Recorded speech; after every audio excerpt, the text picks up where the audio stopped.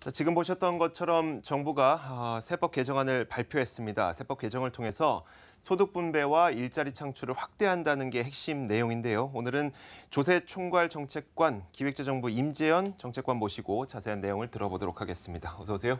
네, 반갑습니다.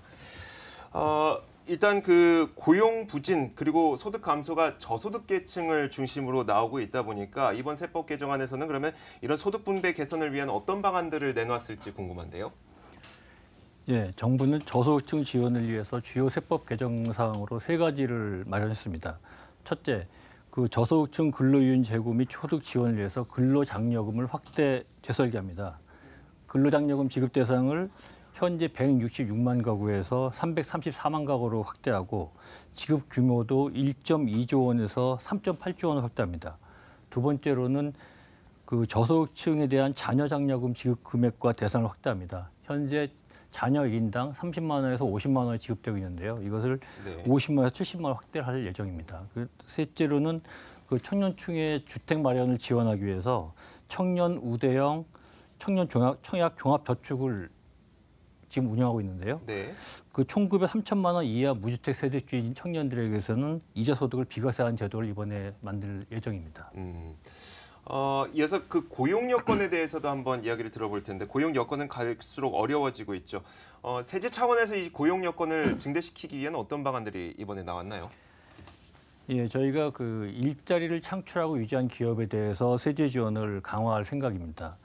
첫째 고용 증가 인원당 한 명당 연간 최대 1,100만 원의 세제 지원을 하고 있는 고용 증대 세제가 있는데요. 이 적용 기한을 1년 연장하고 특히 청년 친화 기업이라고 해서 청년 근무 여건 등이 우수한 기업에 대해서는 한 명당 500만 원의 추가 공제를 실시할 예정입니다. 그밖에 중소기업 고용 관련 세제 지원도 적용 기간을 연장하는데 이 내용으로는 중소기업 사회보험료 세액공제와 비정규직을 정규직 전환할 때 세액공제한 제도가 있습니다. 그 외 위기지역 창업기업에 대해서 5년간 법인세 소득세를 그 100% 감면제 감면한 제도를 신설하고 네. 지역 특구 감면 제도를 지역 일자리가 많이 창출될수록 지원을 많이 받는 제도로 개편할 예정입니다. 자, 이번 세법 개정안을 보면은 또 우리 같은 일반 서민들이 좀 이용할 수 있는 것들은 없을까? 혹은 좀 저소득층이 활용할 수 있는 세법 개정은 없을까? 이런 생각을 들게 되는데 그 가운데가 이제 근로장려금 또 장려 자녀 장려금 이런 것들이 지급 대상도 확대되고 지급액도 확대가 됐습니다. 과연 어, 이런 세법 개정안을 통해서 어떤 효과가 나타날 수 있을지 어느 정도로 기대하고 계세요? 예, 지금 말씀하신 근로장려금은 원래 취지가 저소득층의 근로를 장려하고 소득을 지원하기 위해서 2009년부터 시행하고 있었습니다. 네.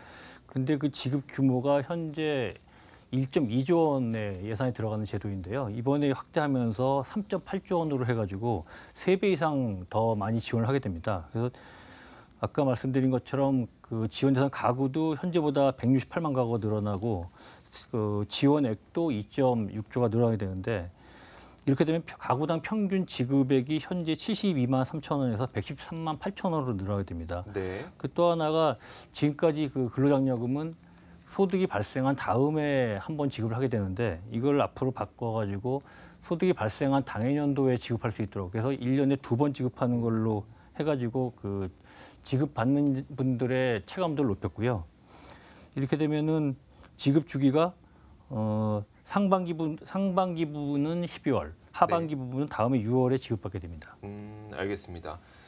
그 하지만 한편으로 걱정되는 부분이 있습니다. 이번에 워낙 세법 개정을 통해서 다양한 분들에게 또 여러 가지 지원책을 내놓는다고 하니까 그러면 세수의 감소가 나타나지 않을까에 대한 걱정인데 어, 사실 이번 세법 개정안에 나온 내용을 보더라도 앞으로 5년간 한 2조 5천억 원 정도의 세수 감소가 있을 수도 있다라고 얘기를 하셨거든요. 추가적인 세수 확보를 위한 어떤 방안을 마련하고 계신가요? 예, 먼저 그 세수 감소 부분에 대해서 잠깐 말씀을 드리면 우리가 보통 그 감세한다고 하게 되면은 통상적으로는 소득세, 법인세 그리고 그 중에서 이제 고소득자나 대기업에 대해서 세금을 감세하는 것을 통상적인 감세라고 우리가 합니다. 근데 이번 네네. 세수 감소가 5년간 2.5조 원이 발생을 하게 되지만 이거는 통상적인 감소와 달리 그 아까 말씀드린 저소득자에 대해서 근로장려금과 자녀장려금을 저희가 확대하다 보니까 이 부분에서 세수 감소 효과가 발생하는 거라서 통상적인 감세와는 좀 다르다는 말씀을 드리고요. 네. 어, 그 금년까지 그리고 내년까지는 어느 정도 세수 여건이 좋고 특히 저희가 작년에 고소득자 대기업에 대해서 소득세 법인세를 인상했기 때문에 어, 내년까지는 세수 여건이 좋을 것으로 봅니다. 다만 그 이유를 대비할 필요는 있는데요.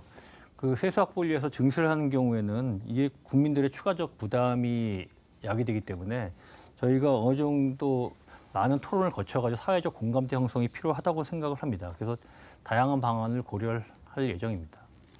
자, 이번 세법 개정안을 통해서 우리의 세금이 좀 더 효과적으로 활용되는 어, 활용되길 기대해 보도록 하겠습니다. 오늘 어, 기획재정부 조세총괄 정책관 임재현 전주과 모시고 이야기 나눠봤습니다. 오늘 말씀 고맙습니다.